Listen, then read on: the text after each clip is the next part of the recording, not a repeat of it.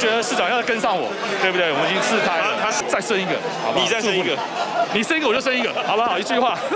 这句话可能让市长夫人听得好害怕。台北市长蒋万安到议会参加新春团拜，民众党的四宝爸议员张志豪分享包生女的秘诀，但蒋万安光照顾三宝已经有够累。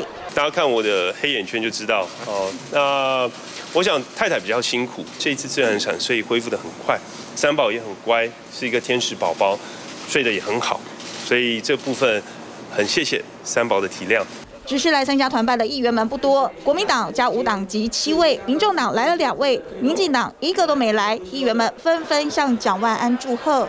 兔宝宝，就前两天吧，就前几天了。对，呃，第三天。但不止照顾小宝宝累出黑眼圈，台湾灯会二月五号登场，今年移师台北举办。国父纪念馆的灯饰被酸是台北市府重现华国美学，后来才发现这是交通部的灯座，被指示绿营侧翼又翻车。这一次的台湾灯会其实是由交通部和台北市政府我们共同合作，所以不管是中央或地方各自的责任灯区，我们都尊重每一位作者的设计以及原创理念。希望跟中央携手办好灯会，北捷环状线经营权三十号也要移交给新北市府。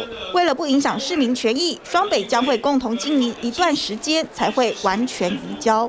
以六个月为这个原则。大概等让它平顺的这个交接，等到整个南环北环环状都完成的时候，绝对是由一家公司来做经理。除了环状线，台湾灯会回味二十三年后重返台北，对蒋万来说是硬仗，也务必要顺利进行。TVBS 新闻崔中群、李平台北报道，请支持一个专门报道国际新闻的全新 YouTube 频道 TVBS 国际 Plus，扩大视野，掌握趋势，请订阅并开启通知小铃铛。